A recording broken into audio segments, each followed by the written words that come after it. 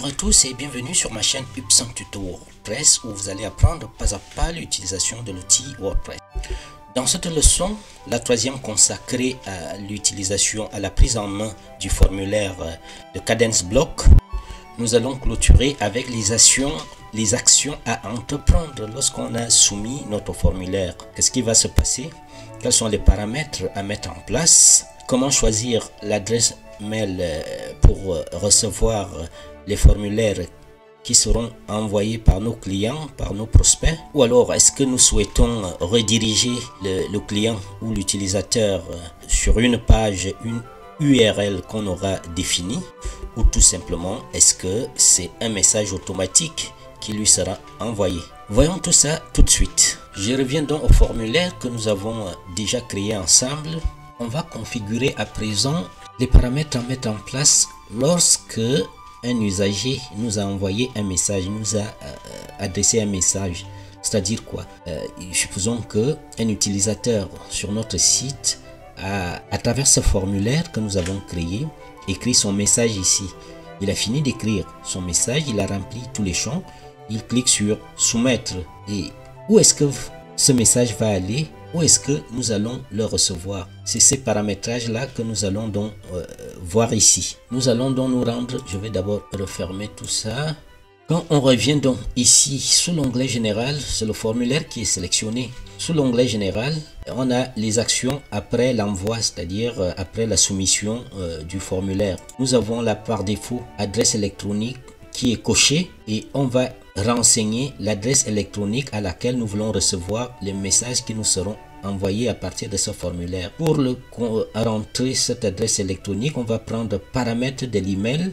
On va ouvrir. Ici, il faut rentrer l'adresse électronique à laquelle nous voulons recevoir les messages qui seront envoyés à partir de ce formulaire. Moi, par exemple, je vais renseigner ici mon adresse professionnelle mon email professionnel autant pour moi. Bon, vous pouvez mettre Gmail, euh, ce que vous utilisez et ce que vous préférez. De toute façon, c'est pour vous. Je viens donc de mettre mon adresse électronique professionnelle hubert at Ici, c'est l'objet de l'email c'est toujours pour moi. Je vais mettre un objet qui sera toujours le même et qui me rappellera que c'est un message qui vient de ce formulaire. Je vais donc mettre quelque chose de parlant. Nouveau message de Upson.net.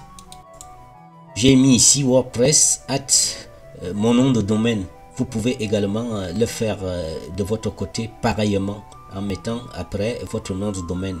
De toute façon, ça n'a aucune importance, ça n'a aucune influence, ce n'est que pour vous. Et ici, du nom, vous pouvez mettre le nom de votre site, par exemple, upson.net. Alors, sur le champ répondre à, il est choisi ici champ d'adresse électronique. C'est-à-dire que il faut laisser ça par, défaut parce que ce sera l'adresse électronique que votre euh, utilisateur va renseigner ici qui sera automatiquement reprise lorsque vous, vous allez cliquer sur répondre dans votre boîte euh, email, dans votre boîte de messagerie. Le reste, euh, on va passer rapidement. Ici, vous pouvez cocher cette option pour que le message soit envoyé sous forme de courriel HTML ou si vous ne le souhaitez pas, vous le décochez. Moi, je vais le laisser cocher. Dans l'option contrôle euh, de base du spam, gardez ça coché, ça vous évite d'avoir des spams.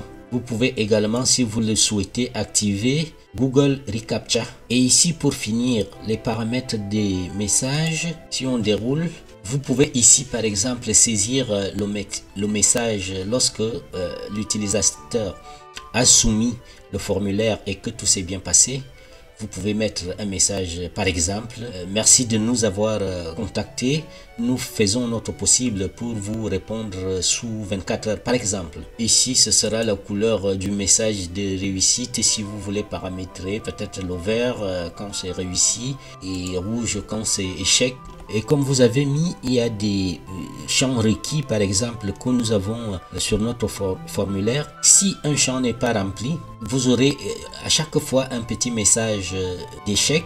Et dans ce cas, il faut rentrer ici le bon message, par exemple, tel champ est requis. Donc, il faut vérifier vraiment à regarder tout ça et ensuite ça ce sont les paramètres on va dire de, de, police et des typographies, les couleurs, les tailles, la hauteur des lignes, la largeur des bordures. Bref, tout ça, c'est pour ça. Tout ça, c'était les, les, paramètres lorsque nous, pour l'adresse email, lorsque le message a été soumis.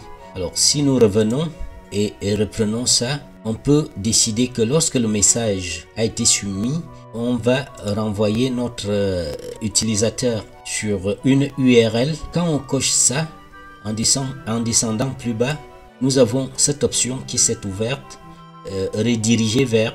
Et là, dans ce cas, on va coller ici l'URL à laquelle on veut euh, rediriger notre utilisateur. Ça peut être une page de remerciement que vous avez créée sur votre site.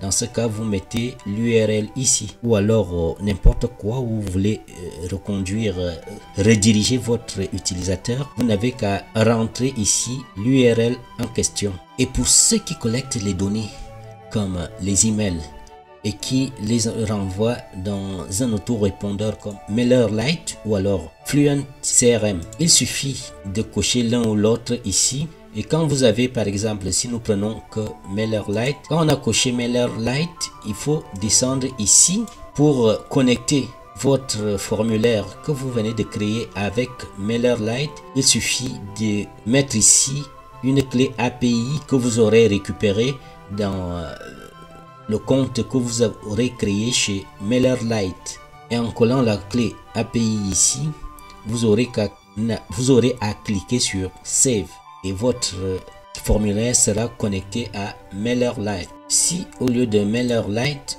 j'avais plutôt cliqué sur euh, choisi Fluent CRM, c'est exactement la même chose. Il faut descendre. Ici, j'ai Fluent CRM Settings. Je peux donc connecter ici mon formulaire à Fluent CRM. Fluent CRM, je vous le rappelle, est déjà intégré dans WordPress.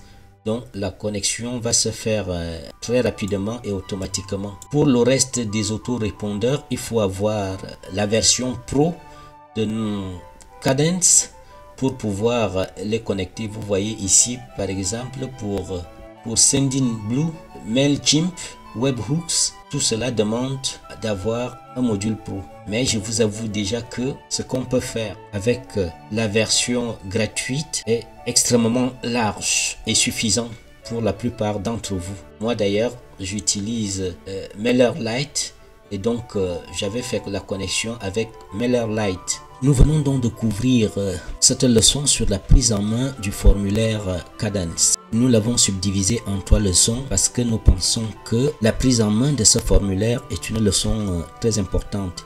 Il y avait pas mal d'options à parcourir.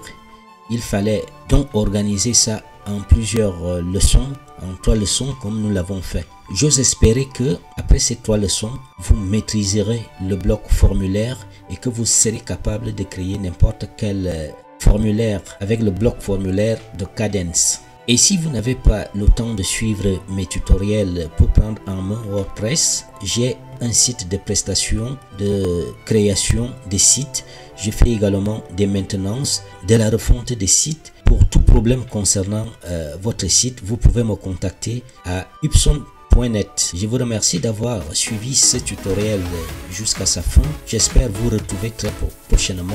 Si vous n'êtes pas encore abonné à ma chaîne, abonnez-vous car des leçons plus épiques encore vont arriver. Je vous fais la promesse de vous conduire à la maîtrise de l'outil WordPress. À très bientôt. Au revoir.